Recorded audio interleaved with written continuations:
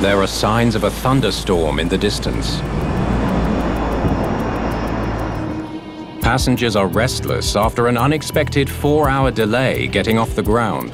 Flight attendant Adriana Cardenas Medina is working hard to settle passengers, many heading to the small island for a holiday. The flight was running late because it was coming from Cali, and it was late due to poor weather. They said it was running two hours behind, but it actually ended up being twice that. Dos horas, pero la verdad se, se duplicó el, el, la espera. Prior to beginning our descent into San Andres, we began to experience some light turbulence.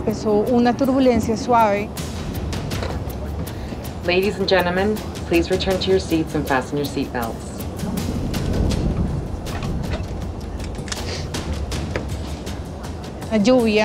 It was raining. There was lightning, a lot of lightning, and the turbulence started to intensify. Now past the halfway point of the trip. The captain is increasingly concerned with the possibility of heavy storms gathering over their destination. It doesn't look like we're going to get any relief from this storm. Yeah, lots of activity tonight. Closer to San Andres, the already bumpy ride is getting worse and worse for the passengers. Look out, Captain. The first officer now realizes they are too low to make a safe landing. Can you make it? Climb, Captain! The captain pulls back on his control column but it's too late.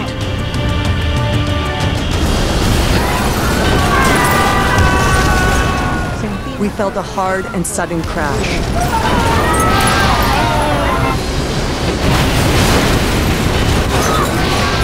At 1.47 a.m., Aires 8250 slams into the ground with 131 passengers and crew on board. Inside the front section of the airplane, flight attendant Adriana Cardenas Medina has survived the horrific crash.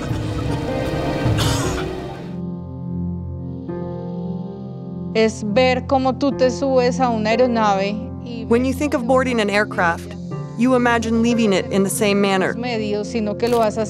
Not forcibly or in pain, fear, frustration. It's something you can never imagine happening sabrías o imaginabas que iba a pasar. The crash and destruction of Flight 8250 is quickly becoming a major international news story. A plane crashed this morning in Colombia.